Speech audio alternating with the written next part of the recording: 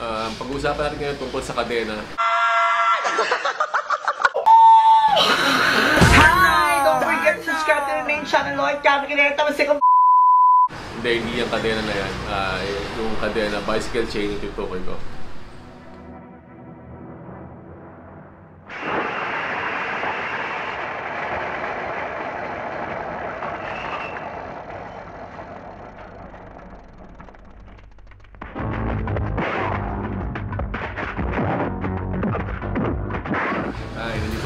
Tayo sa isa kong technical vlog. Ako si Lawrence ng Lawrence Cycles. Um, pag-uusapan natin ngayon ay tungkol sa chain. Okay, so mga kadena. Um, most of the time nagtataka yung mga tao pag dumating dito. And then sinasabi ako sila na kailangan mo na magpalit ng kadena kahit na mukhang okay pa naman or nagagamit pa naman ng ayos yung kadena nila. But i-explain ko sa video na to kung anong dahilan kung bakit nire-recommend ako na palitan yung kadena. Okay. So, isa sa pinaka-pangunahing dahilan or main reason kung bakit ko nire-recommenda na magpalit ng kadena kapag worn out na ito stretch na. Um, dahil mas mura na magpalit ng kadena kaysa magpalit ng buong drivetrain. When I say drivetrain, ibig sabihin yung sprocket, yung chainring, and then yung kadena, papalitan ko. Okay? But, bago tayo patuloy, shoutout muna ako. Okay? Shout- Shoutout sa kay Xavier na lagi nanonood sa mga vlog ko sa section nila na 7 Dub sa La Consolacion University, Philippines. At isa pa subscriber ko si Mark Adrian Lopez. Salamat sa pag-subscribe. At pag may chance na magkita tayo, bibigyan ko kayo ng mga stickers doon. Freebies sa shop ko.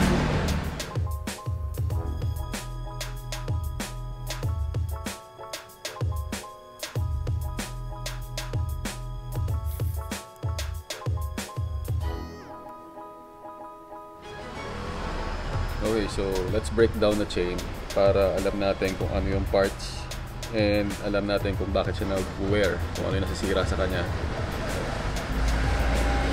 So, ito, makikita nyo, this is the side plate.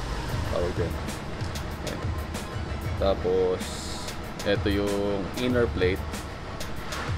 Inner plate. Ayan. Ah, ito yung bushing.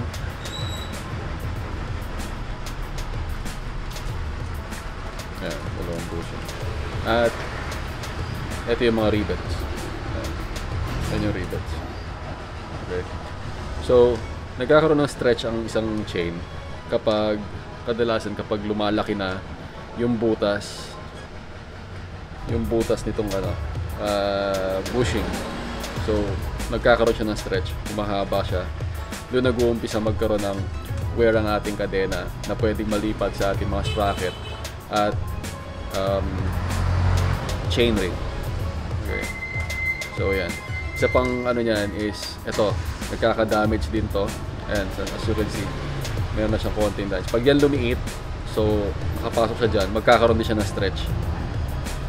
So, pag, pag nakagkaroon na siya ng stretch, mas magiging mahaba yung kadena at hindi na siya lalapat sa sprocket at ating chain ring. So, hahaba siya. Ito medyo bago pa to. Para lang makita nyo na mahaba. Ito, itong chain na to, this is an example na nag-stretch na siya. Kung makikita nyo dito, gumagalaw siya. Diba? Ibig sabihin, yung mga bushings niya, maluluwag na. And, maaaring maha, yung mga rivets niya is manipis na. So, gumagalaw na siya. Hindi na siya sakto. So, ganun ang, ganun ang nangyayari kung bakit natin sinasabi na stretch na yung kadena at kailangan na siyang palitan. Mas mas makakamura kayo kapag pinunta niyo yung kadena niyo kaysa sa buong drivetrain yung papalitan niyo. Okay, so pag-usapan naman natin yung haba ng kadena. Isa to sa common na misconception ng mga bumibili ng kadena. Akala nila itong 8-speed ay mas ma- itong 8 speed mas mahaba ang 9 speed.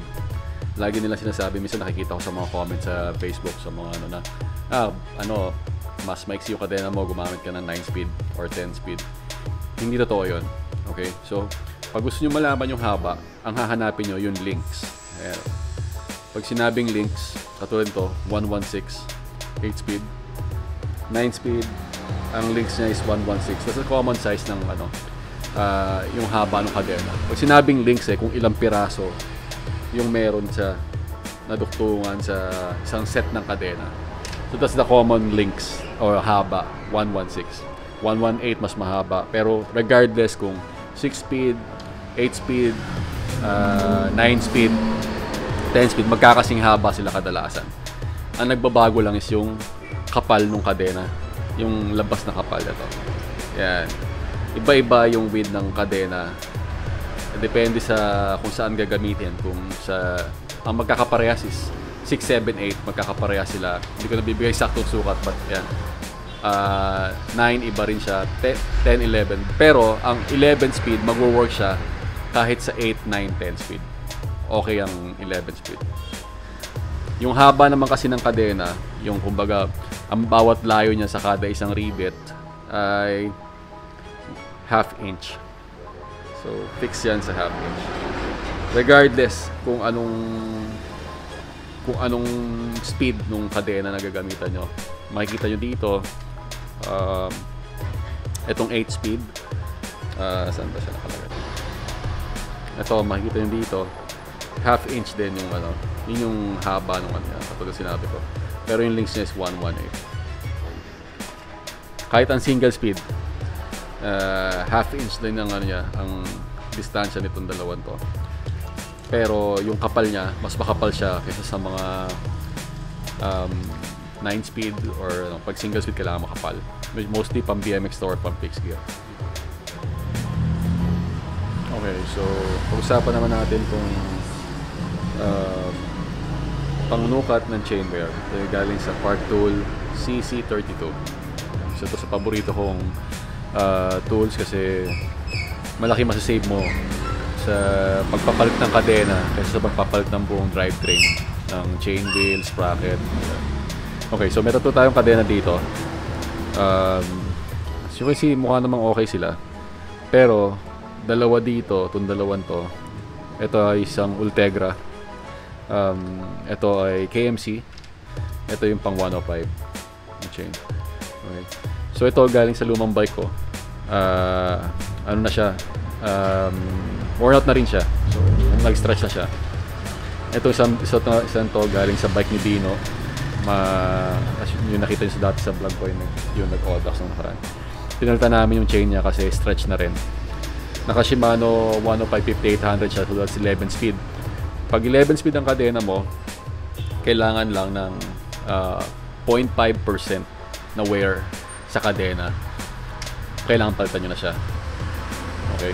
Pero kung nasa 6, 7, 8 hanggang 9 kayo, ah, kahit 75% ng chain wear, pwede nyo pang gamit. Hanggang 75% ang pwede nyo gamitin.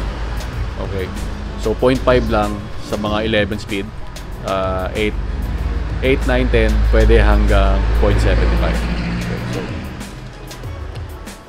okay, so yung paggamit nito, uh, unahin natin itong Ultegra. Ito, itong Ultegra pang 11 speed. So, pasok nyo lang siya dyan.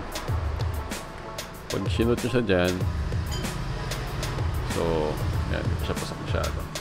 0.75, hindi pa siya pasok. Okay. Tara natin siya. 0.5, pasok na siya. Okay. So, ibig sabihin, ah, kailangan ng palitan yung kadena. So, that's why tinanggal na natin to sa bike. Dahil 11 speeds yung, yung pinagagamitan nito, um, pinalitan na natin. Tapos itong isa, yung KMC. ah, ito yung gamit ni Bino.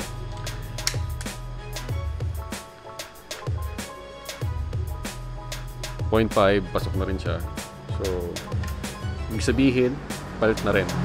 Pag hindi mo pinalitan, ang mangyayari, mag-uumpisa magkaroon ng mga talas yung yung chain ring mo tsaka sprocket mo. And eventually, pag hinayaan mong ganun, katagalan, magiging maingay siya and kailangan mo ng palitan lahat, hindi lang kadena. So, syempre, anong mas mura? Kung yung kadena o yung sprocket at chain ring mo, yung kadena na lang. So, bago siya, bago siya ma ma-war na tuluyan, palitan mo na na yung kadena mo. Mas mura siya. Ito yung 105 na chain. Ito okay pa to. Ah, mukha lang siyang mukha lang siyang madumi. But yeah, okay pa yan. Eh, Sukat na natin. See. 0.5. Hindi siya pasok. Hindi siya papasok. So pag ginamit nyo to, pa- measure nyo sa iba't ibang part ng chain. Regardless kung nakakabit sa bike or hindi. Kung nakakabit, mas, mas patak siya. So mas malaki yung chance na pumasok. So pwede namang siyang hindi nakakabit or nakakabit. So gaano katagal bago, ma- bago humaba o ma-stretch ang chain? Depende. Depende sa chain, depende sa papa, saan nyo ginagamit, kung, kung madalas nyo ba kayo mag-aahon or depende sa shifting style nyo. Pero sa experience ko ah, okay, ito 105, ito Ultegra. Sa akin, mas tumatagal ang ang 105 kaysa sa Ultegra. Mas mabilis mangitim ang chain ng 105. Kita nyo, mas maganda yung, ito kasi hindi na nagagamit to kaya ganito. Pero, ah, mas mabilis mangitim yung 105 pero mas matagal siya ma-stretch. Umaabot ng itong itong kadena ko na to parang umabot lang ng wala pang 1,500 kilometers na stretch na siya. So kailangan ko ng palitan. But yung 105 ko, minsan lampas 2,000, hindi pa rin na-stretch so hindi ko pa pinapalitan. So yun, mas mabilis ma-stretch para sa akin. Ang Ultegra. Sa Durace naman wala akong experience kasi hindi ako nagamit ng Durace. I know mas magaang siya, mas magandang materials pero pag pan-training lang, nag-stick ako sa 105. Usapan naman natin yung mga napuputulan ng kadena. Bakit kayo napuputulan ng kadena? Kung titingnan nyo, matibay itong mga to. Ah, hindi nyo kaya siyang basta lang hit-hilahin or kahit anong sipa gawin nyo dyan, hindi nyo kayang putulin yan. Matibay talaga yan. Kaya kayo napuputulan, ang nagiging problema kapag kinakalas nyo yung kadena. Kapag bine-break siya, the way na i-break. Okay? Yan, kung makikita nyo siya, every time na pinuputol nyo yung kadena, may naiiwan na part ng kadena dito sa tools. Okay. So pag binalik nyo, hindi na siya katulad nung dati dahil wala na to. Kadalasan hindi kayo gumagamit ng missing link o yung tamang pin pangbalik. So ang nangyayari, pag naputulan kayo ng kadena, malamang sa malamang, dun yon sa pinagbreakan nyo ng kadena. Kung saan nyo siya iniksian or saan nyo dinuktong. Dahil wala na to. So hindi na siya kasintibay ng original na, na part. Okay. So, ang option lang dyan, gumamit ng missing link. Ah, ba yun? Ito. Yan yung missing link. Okay. Pag gumamit kayo nito, sigurado na yung duktong duktungan nyo matibay and hindi rin kaya sirain. Or sa Shimano naman, pag bumili kayo ng bagong kadena, may kasamang pin. Yung pin na yon, ah, pwede nyo siyang gamitin, pero hindi nyo siya pwedeng tanggalin at ibalik. Ayan. Yan yung example ng pin. Ah, Hindi rin siya advisable na tanggal kabit. So once na kinabit nyo na siya, yan na siya. Pag tinanggal nyo at binalik nyo ulit, may chance na dyan maputulan yung kayo ng kadena or matanggal yan kapag hindi okay. So syempre, not all the time, tsambahan din naman. Pero kaya pag kayo naputulan, dun lang din nyo kung saan siya tinanggal, dun lang din siya mapuputol. Okay. Okay, so kung wala kayong tools, panukat, ah, yung chain checker, pwede nyo gawin yung manual. Okay? So, pwede kayong kumuha ng ruler. Okay? Tapat nyo yung dulo sa isa sa mga ah, rivet. Okay? Kailangan yung pang 12 inches, yung pang 12, sasakto siya sa isa sa mga sa mga gitna ng sa gitna ng isa sa mga rivet sa kadena. Okay? Lalapit natin para mas kita nyo. Ayan. Yung pang 12, ito yun. Sakto siya sa sa rivet. Okay? Pag yan lumampas pa, ah, or kulang, masyado na siyang mahaba, ibig sabihin, or nas siya. Pero since sakto siya, okay, ibig sabihin, okay pa siya. Ah, sakto pa yung sukat niya. Hindi pa siya stretch. So, ang sukat ko sa kanya ay sakto siya. So, testing naman natin sa gamit ang chain checker. Okay. See, hindi siya pasok. So, ibig sabihin tama yung pagkakasukat natin. So, tama. Ibig sabihin, okay pa tong okay pa tong kadena na to. Pwede pa siyang gamitin. Mahaba pa yung buhay niya. Gamit to sa mountain bike na natin. Hindi ibig sabihin na kalakalawang na yung kadena, eh, okay, hindi na okay, or pagka malinis pa, okay pa. Hindi ganun. So, mas maganda i-check nyo kung yung tamang sukat ng kadena. Okay, so that's it for our video. Um, kung gusto nyo ma-check or malaman kung okay pa yung kadena na nakalagay sa bike nyo, pumunta kayo dito sa Lawrence Cycles. Dito lang kami, malapit yung Save Workout. Pwede kong i-check na libre yung kadena nyo. Mabigyan ko kayo ng recommendation kung kailangan nyo ng palit or hindi pa. And yun, may mga available din kami kadena dito kung gusto nyo magpalit. Okay. So, thank you sa panonood and hit niyo yung like and subscribe button para sa mas marami pang ganitong video kung nagustuhan niyo yung technical videos na to. Um, kung meron pa kayong mga gustong malaman or suggestion or comments, ilagay lang sa comment section below. Okay, salamat.